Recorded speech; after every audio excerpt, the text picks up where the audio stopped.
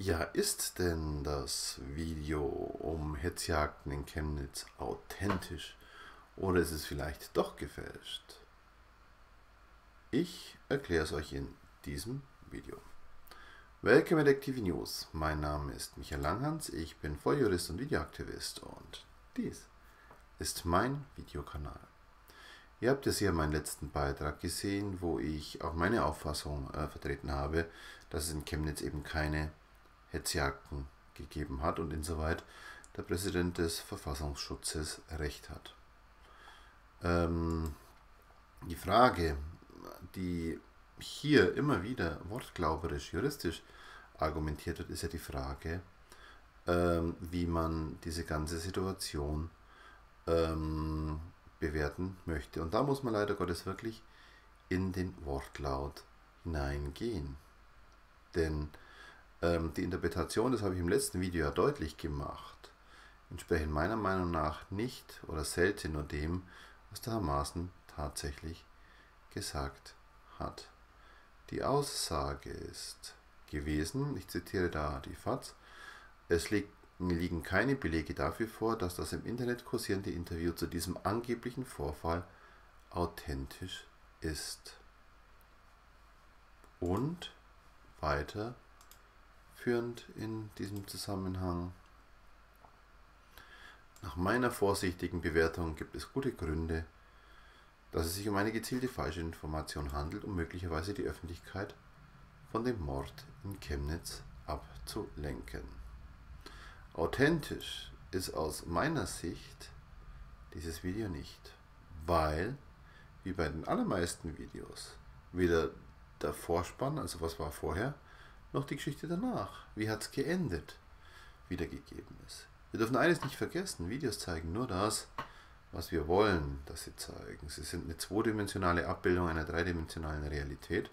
Und gerade das Wegschneiden, Weglassen von Informationen ist äh, ja große Kunst, belegt aber eben auch die Frage, ob etwas authentisch ist oder eben nicht. Ja?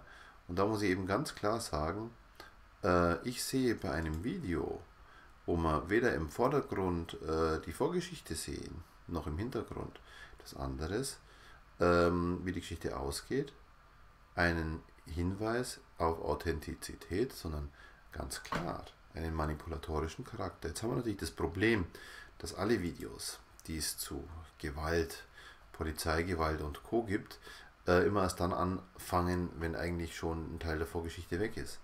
Das liegt äh, äh, als grundsätzliches Glaubwürdigkeitskriterium in der Natur der Sache, weil ein solches Video, äh, ein Videofilm erst aufmerksam wird, wenn er merkt, oh, da läuft irgendwas falsch. Aber das heißt ja nicht, dass alles und jedes an Wegschneiden tolerabel ist. Wenn wir jetzt den Bericht des ZDF hinzunehmen, dann gab es eben eine Vorgeschichte. Und allein das Weglassen dieser Vorgeschichte macht deutlich, dass dieses Video nicht so authentisch ist, wie man es gerne informiert. Ja? Authentisch, das schreibt äh, die FAZ auch ganz klar, ja? echt den Tatsachen entsprechend. Und natürlich ist der Ausschnitt den Tatsachen entsprechend, aber noch nicht die ganze Geschichte. Und nur auf die gesamte Geschichte kommt es an.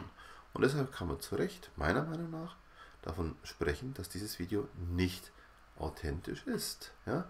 Es macht eben einen Unterschied, um einen krassen Fall zu bringen, ob ich einem Dieb hinterherlaufe, der meine Handtasche gestohlen hat, oder ob ich eben anlasslos einem Ausländer aufgrund seiner, seines Migrationshintergrundes hinterherlaufe, um ihn zu kloppen oder einzuschüchtern oder was auch immer.